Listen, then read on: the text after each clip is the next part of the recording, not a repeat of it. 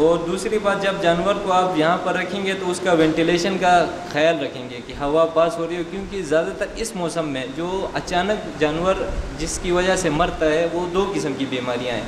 एक heat stress है, जैसे ही आप जानवर को लेके आते हैं, धूप में अगर उसको आप खड़ा बांधेंगे, कोई छाँव वगैरह नहीं करेंगे या हब्स जैसा माहौल में आपने रखा तो उसके ऊपर एक हीट का शौक लगता है।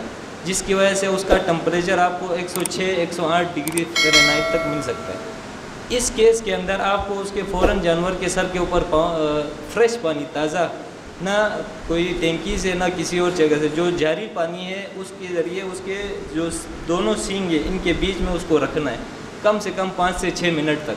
तो इसकी वजह से ये हीट स्ट्रेस को थोड़ा कम कर सकते हैं। और दूसरा, इसकी फीडिंग में फ़ौर आपने ग्लूकोज पिलाना है।